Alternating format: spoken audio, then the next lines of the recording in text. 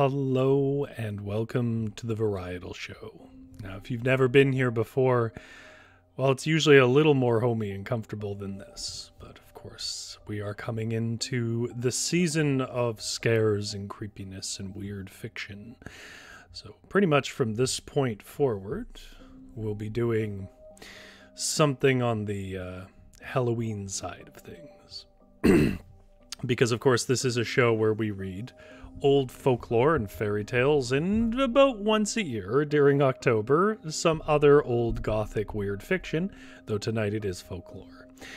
Um, and if you've never been here before and you just want to get to the stories, you should know that down in the description below, if you're not watching this live, there will be a timestamp that will jump you ahead to the beginning of the tale.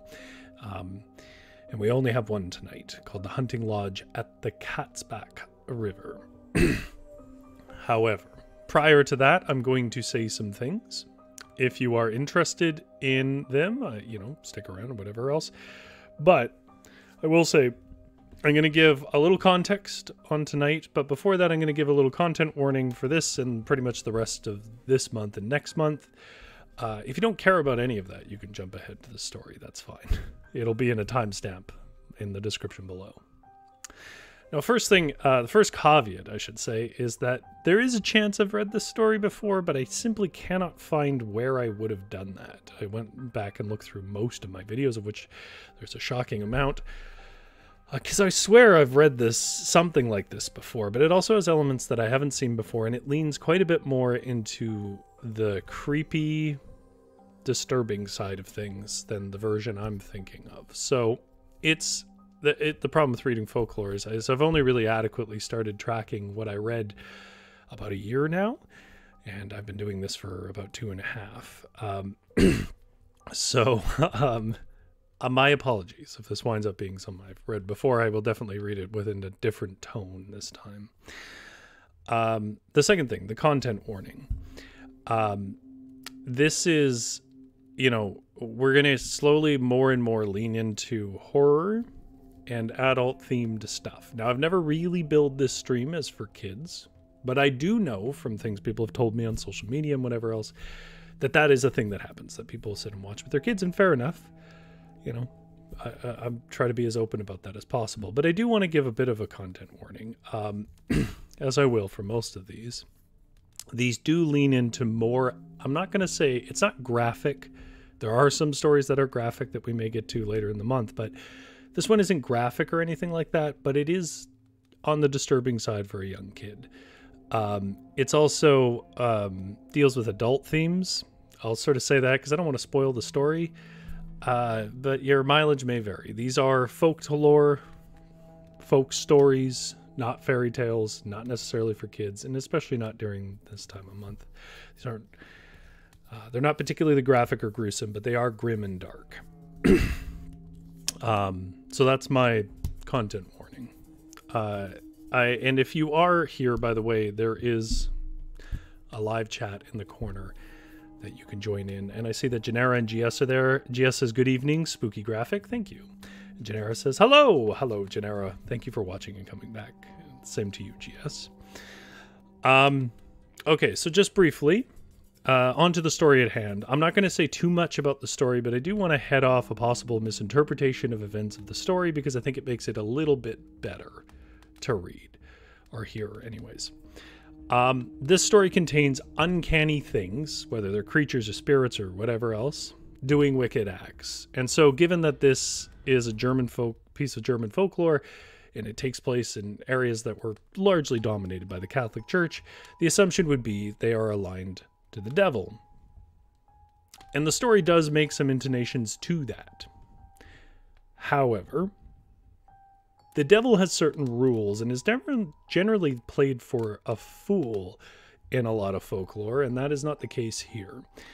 Um, it's more likely that these are presented as sort of pagan spirits that got recast. We've talked about this several times. I really feel it in this story. More to that point, because they don't seem to follow the rules of the devil usually does in German folklore. Uh, more to the point, uh, this is written more like a short story. So there's the hand of the editor who's put this together is a lot more visible in it. So th- that might be an intentional act on their part. It's entirely possible, and, and um, uh, Jurgen makes this point in his commentary. It's entirely possible that this, and likely, really, even that this story did exist in that region, but this is obviously a rendition by a single author. so, with those things in mind, um, this is more about the uncanny world of old spirits that have weird logic that we don't necessarily understand. Okay, with all that out of the way, um, let's get to the stories. so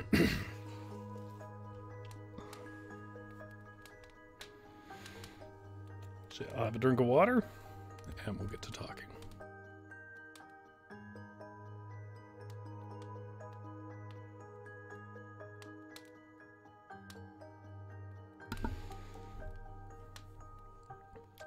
Our story tonight is called The Hunting Lodge at the Cat's Back River.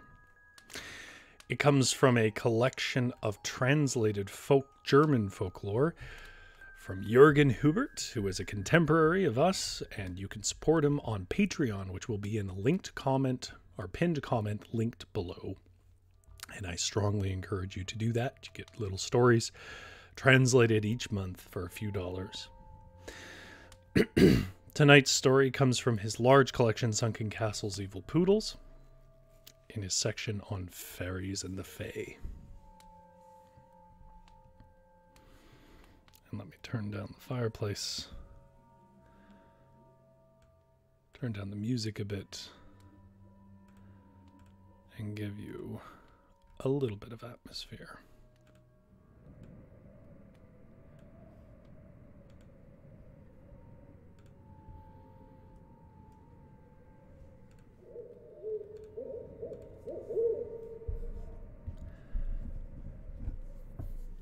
Count Peter Vlost, a Wendishman from a German fiefdom on the Baltic Sea coast, had been tasked to court the Russian noblewoman woman Maria for his liege. However, he instead managed to win both the noble woman and her treasures for himself, fled with her, and settled down in Poland during the time of Boleslav III. Among these treasures, there was also the hand of Stephen the Martyr, which Maria had received this from her mother, a Greek woman from Constantinople. He gifted the hand to the Duke, and in return, he received the city of Kostenblut, as well as a stretch of land in Upper Silesia. Part of this land was Goldberg and its surrounding areas. Now, one beautiful summer day, he visited this region in order to hunt, and he ventured into the Katzbach River valley while accompanied by his servants and miners. And it was then he suddenly beheld the Rabendocken rocks before him. When he inquired after the meaning of those marvelous rock formations, he learned how the pub of Siefenthal Valley had been transformed into them. He thus decided to take a closer look at the rock cliffs and wanted to spur his horse into the Katzbach. Abruptly, the waves of that river rose up to a wild torrent and it seemed nearly impossible to swim through those waters with a horse. Then suddenly, a tall, scrawny, gray haired man who carried a white staff in his right hand confronted him from the other shore and called out with a terrible voice Go back, brazen one. This did not prevent the Count from spurring his steed into the Katzbach and swimming to the other side. But when he had reached the other shore, the old man was gone. Instead, a massive boar emerged from the valley of the gold panners and raced towards the area where the Count and his entourage, who had now caught up to him, had gathered. Everyone now followed the boar in wild pursuit. The valley grew narrower and narrower, and soon the boar could no longer be seen.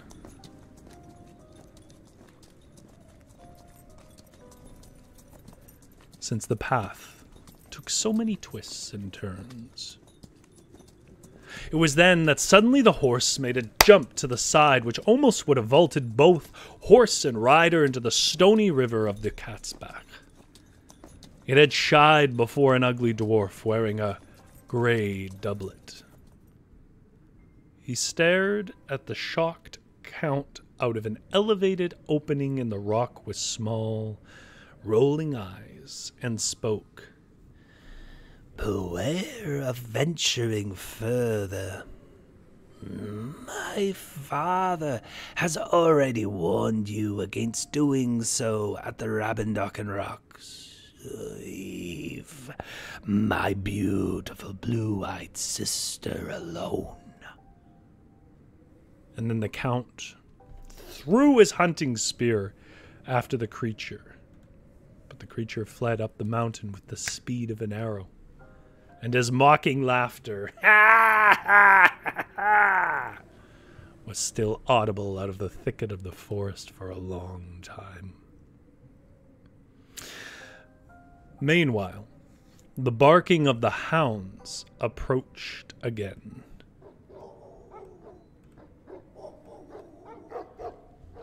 And the squires joyfully shouted that they'd found traces of the boar again. Thus the hunt went ever onwards, and in this manner they eventually reached a beautiful forest meadow.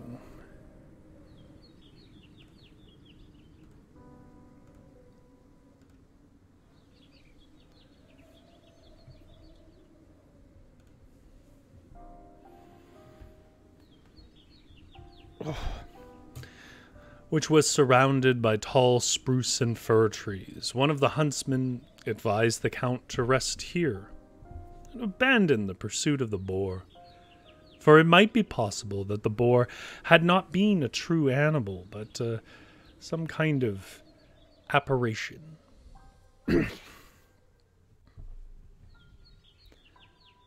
Sent by the devil, which intended to lead them to, well, who knows where. Well, this made sense to the Count. And he pledged that if he returned to Goldberg safe and sound, he would erect a church in the Nikolaiberg Hill out of gratitude for his rescue. This is the funeral church, which still stands to this day. I don't actually know if it does. then one of the squires stepped before the count and said, Behold, my lord, at the boundaries of the forest, there is a beautiful maiden sitting on a spruce tree trunk. She, she seems to have suddenly emerged from the ground of this enchanted region, for no one has seen her arrive. Now she sits there and acts as if she did not see us. She weaves a wreath out of flowers from the meadow. Well, Count, ever curious, looked around for her and was suddenly overcome by a great longing and a great desire for the beautiful blonde, blue eyed maiden, which made him forget all warnings about the infernal hauntings of the Katzbach Valley. He strode towards her and asked her with a friendly voice who she was and what she was doing here. She replied, without shyness, that she lived in this valley together with her mother and pointed towards a small, moss covered hut, which somehow nobody had noticed before.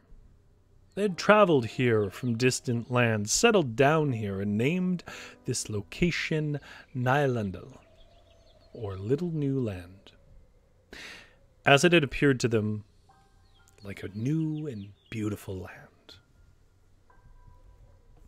Now the Count took the beautiful woman by the hand and let himself be led into a cramped hut by her. Inside, the only decoration was a beautifully carved boar's head, and when he asked where her mother was, he learned that she had gone into the forest in order to gather berries. The Count, who was no longer the master of his overwhelming emotions, urged her to give him a kiss. However, she resolutely, resolutely rather refused and said that whoever she touched would be connected to her forevermore. Then, suddenly, the squire burst in and said that that ugly dwarf had appeared in the shadow and startled the horses. The count hurried outside, but everything was quiet, and when he asked about what precisely had happened, his people were unclear whether they'd seen the dwarf or the boar. And meanwhile, the girl had followed the Count and talked him out of the notion that any sorcery had happened here, and claimed that she and her mother had never seen anything uncanny in the area. In this manner, her words dispersed the Count's rising suspicions that the girl might have been an evil sorceress, and possibly even that ugly dwarf's sister. He thus promised her that he would come back and return to Goldberg while secretly planning to build a hunting lodge in this valley.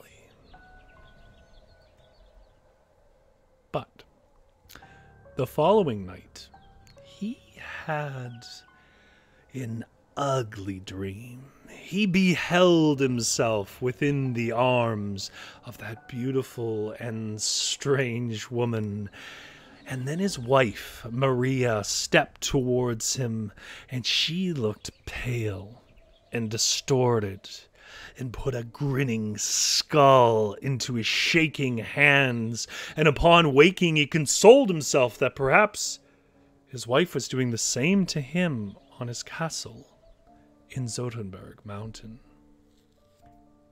He thus hurriedly sent masons and carpenters into that area so that they could build a small mansion there as quickly as possible. However, his astonishment was great when they had already returned by noon and told him they did not need to build a mansion, for they had discovered the most beautiful hunting lodge imaginable in the place of the moss covered hut. But the region was otherwise forlorn and abandoned. Thus, the Count could no longer doubt that he was dealing with an evil sorceress and decided to let go of her. Almost. For he decided to see her one more time, and thus again steered his horse to the valley of Nylandil.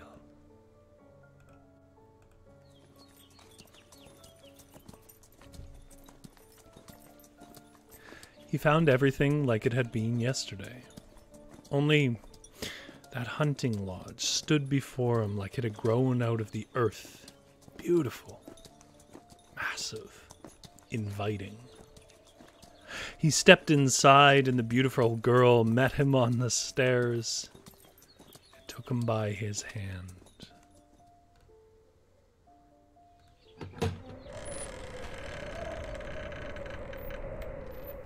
And led him into her beautiful chamber, adorned with marvelous figures, On the wall at the other end, the boar which had mocked him so the other day was attached in the most prominent position. Now the Count claims that he wanted to turn back, for he could no longer have any doubts that the beautiful woman was no human being, but some manner of sorceress. Yet she looked at him with such sweet glances, enmeshed him into her embraces in such a manner that he would have needed to be of a different character than he was to resist such enticements. He still weakly thought of his distant wife. But the sinful passions were too strong for him to allow the memory of her to rescue him from the nets of this beautiful thing. Furthermore, she told him that they could not form a bond of matrimony with each other, anyways. She was the daughter of the forest spirit of the giant mountains, and thus immortal.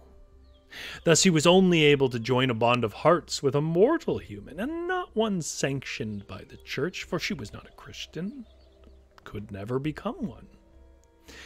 Thus, he was convinced by that clever sorceress to become unfaithful to his wife.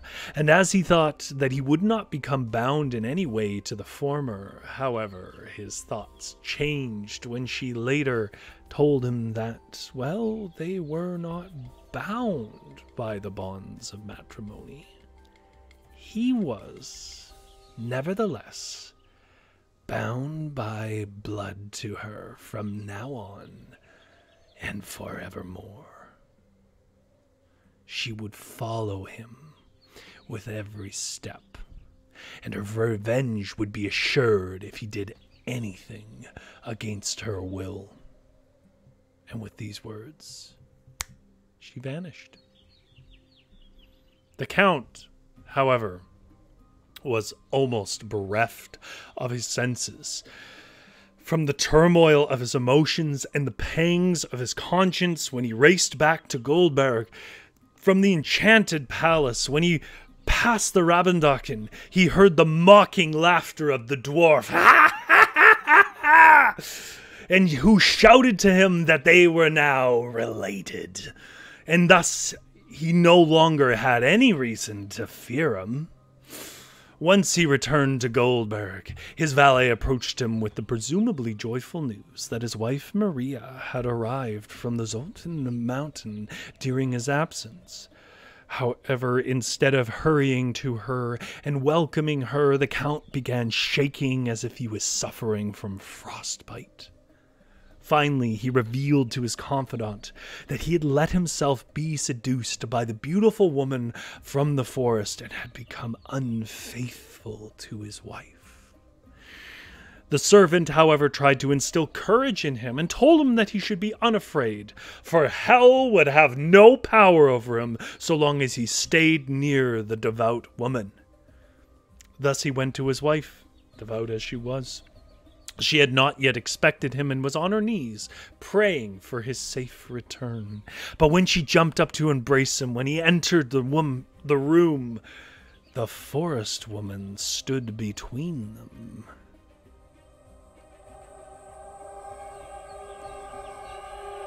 However, she was no longer in her earlier lovely countenance, but appeared as a fierce looking demon whose glares, intent on revenge, made the Count's blood freeze in his veins. But the Count took heart. He made the sign of the cross and commanded her to leave the room, for as a spirit of hell she had no power over his devout wife. And as the latter then held him in a forgiving embrace, the forest woman spoke with infernal laughter. So take her then. I return your oath to you. For you do not deserve to be loved by an immortal woman. And with these words, she lay her hand over the heart of the retreating Maria, and immediately the latter dropped dead with a loud cry of pain. And when the Count threw himself over the lifeless body of his unfortunate wife in despair, something roared next to him. And behold, the abominable dwarf stood there and spoke. The hour of our revenge has arrived. You have insulted the immortals. Every day you will cry for death a hundred times in the blackest night, but death will not come, and no pity shall reach into the darkness of your jail. And immediately after he'd spoken those words and vanished, the room filled with armed men, for the knight Tobias, who'd been sent by Vladislav II to arrest him, had arrived. For Peter had been unwise enough to joke about doubting the fidelity of the wife of Vladislav, who was Agnes, the daughter of the German Emperor Henry V. She thus had spurred on her husband to take black revenge against Peter. So he was dragged away, thrown into prison, and robbed of all his possessions.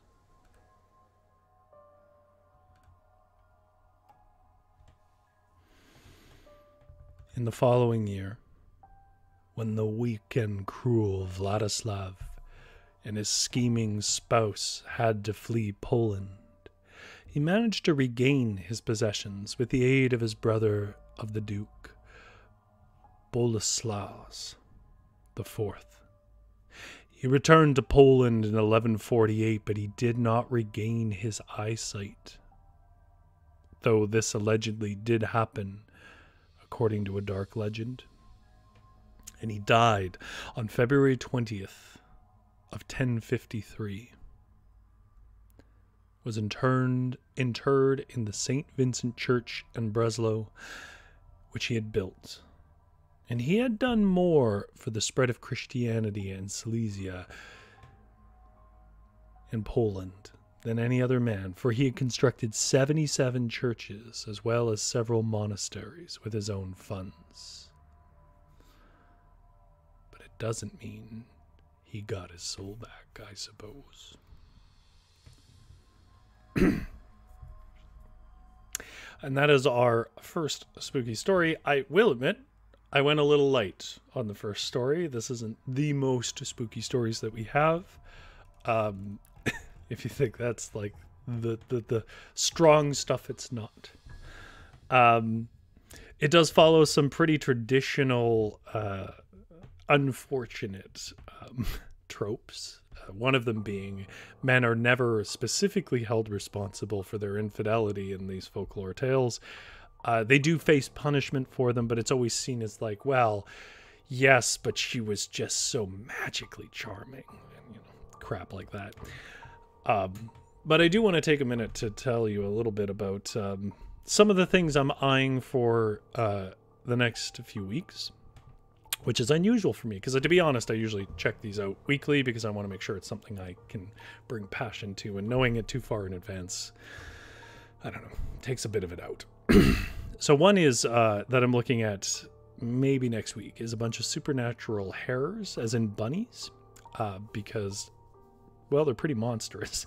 But they're not specifically scary it's more just monster stories uh, we definitely were going to talk about what are called wall riders, which is a version of a spirit that occurs in pretty much like many, not every culture, but many cultures, uh, which is a, a chest sitting spirit, the kind that you wake up in the night and see sitting on your chest, um, which has a presence in um, uh, certain Asian folklore as well. Um, I haven't found one yet, but I would really like to read some more Sheridan Le Fanu, who is not a folklorist. Sheridan Le Fanu is an Irish horror writer who kind of predates a lot of them and is a bit uncredited for. I mean, he's not unpopular, he's not unknown in, in the right circles, but he is a bit uncredited for pioneering a great deal of the uh, original tropes of sort of gothic horror. um, and uh, he is far and away my favorite a writer of this kind of stuff but he falls more in the weird fiction because we usually like to mix in some weird fiction. Um, i am going to look at i don't know what you would call them but i guess their closest analogy is basically german vampires. And then the one it's not a long story but it is worth it. Somewhere closer to halloween because i want to kind of up the ante as we go uh, I would like to tell you the German story about the long man in uh, in the alley, which is a story that definitely could use some expansion because it's a rich one. It is interesting to me as well because it reminds me a bit of one of the only pieces of pretty genuine modern folklore, uh, and largely credited uh, with being the first web internet based folklore, which is the Slender Man um, which is uh, a phenomenon in and of itself. Though I would say I don't think anybody has ever thought it was real, uh, but it does follow otherwise the tropes of being folklore. Uh, lots of art about it. There was a whole video game about it. Someone made a movie about it that was apparently very bad, uh, but I don't know. I mean, art is subjective. Um, but mostly a lot of uh, doctored photos and short stories and things. Uh, but that's to give you some ideas of the things upcoming.